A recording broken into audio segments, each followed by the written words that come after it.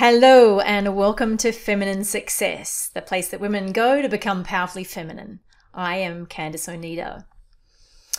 This week, I'm going to talk to you about the three keys for how to soften into your feminine.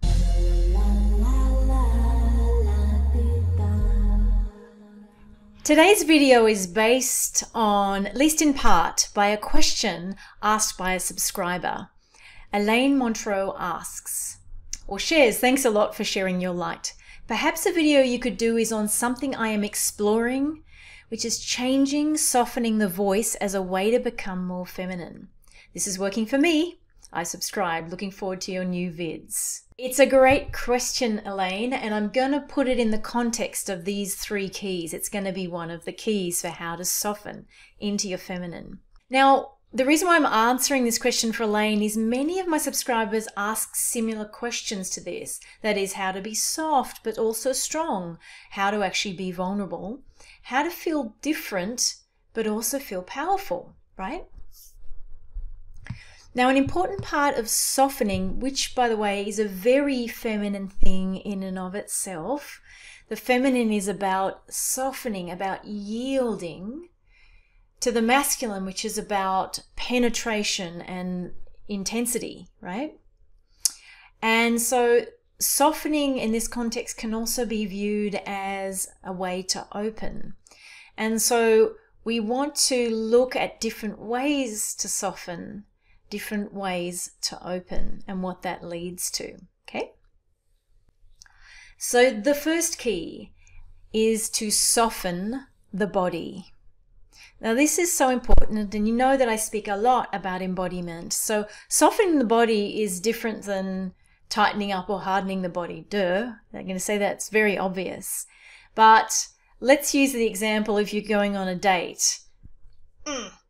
I'm not soft if I'm doing that, right? My body dynamics are closed, my body language is closed, and I'm probably a bit sort of ah, tightened up, right? So, what does it mean to do the opposite? To soften the body, to open the body, to feel, oh, what does it do? What do I have to do to let things start to flow in my body, to move, to yield? What does it mean, mean to yield?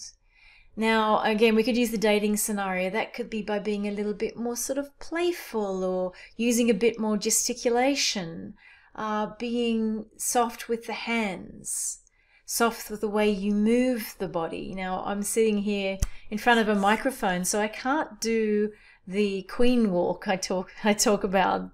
Um, I do a queen walk in my live powerfully feminine intensives.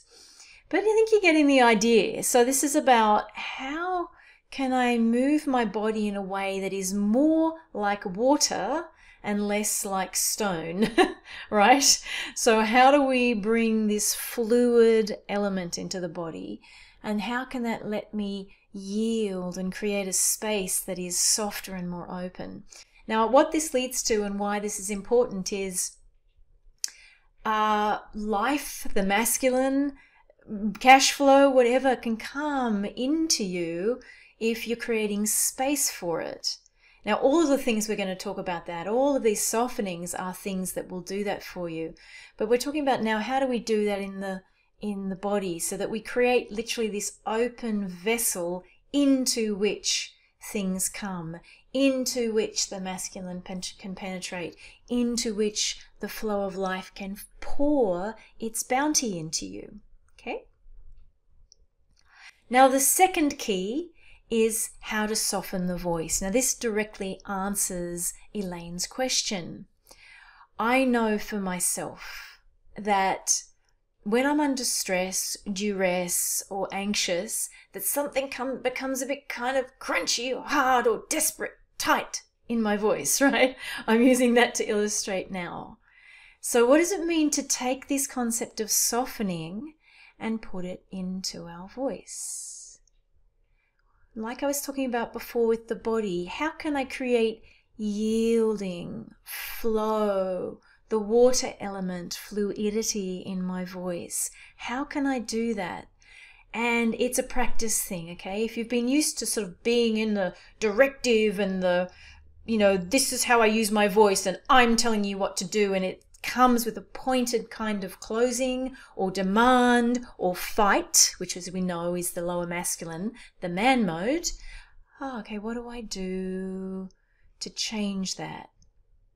And to be effective in my communication, even though I may have dropped my tone a little bit, I may have brought more water, more softness, more fluidity into my voice stream. Okay? So, voice stream is an important element I speak about with my women the stream of the voice. And importantly, about voice stream, it's where's it coming from? Okay? So, if you look at a stream that comes down a mountain, it starts somewhere. It starts somewhere up the top of the mountain and then it flows down the mountain. So, what I'm talking about here is what is your voice connected to? Now, we can play with this a lot, and I love playing with this. So, right now, I'm going to suggest that you try this. Let's say something, and you can pause the video, and you're going to connect your voice stream to your heart. And whilst you do that, you're going to feel this sort of opening in the throat chakra. You're going to open the voice and connect it to the heart. And clearly, if you're speaking like that to somebody, it's going to land differently on them from the source, okay? The source being the heart. It flows like a stream through the voice and then it lands differently, right? Let's try another exercise. Let's go down into the pussy. Let's connect into the lower centers and now I'm going to connect my voice to my pussy as I speak. Now, the stream that comes from there is a little bit different, right? Often, when you connect from a part of yourself, it connects to the other person, right? So when I'm connecting to my pussy, I'm kind of talking to yours, or I'm talking to your lower belly, to your lower centers, to the dark hidden depths there, whether you're a man or a woman listening to this, okay? So, voice stream, firstly, what's it connected to? Allow its space to flow through the voice and then let it land pointedly where you'd like it to land. So that is a fun exercise. Now, the reason for this is the efficacy of your communication will go up a lot. As in, you're going to have way more efficient, direct, clear communication when you know what you're connected to and what you are uh, directing it toward. Okay? So it could be directing toward an intent, it can be directing toward an energetic center, right? Voice stream, such a powerful concept. And key number three is how to soften the mind. Now, I said at the beginning of this that we're talking here about how to use softening as a way to open. So, I'm also talking about how to have an open mind. And what does that really mean, right? And why do you want to have an open mind? Well, it's kind of boring going through life knowing everything is definitely the way that you think it is. and a lot of the time, it's actually not true. So, open mindedness is a way in which we allow ourselves to consider other views, other points of view, other opinions, other ways of seeing things. Now, this is not about whether it's right or wrong.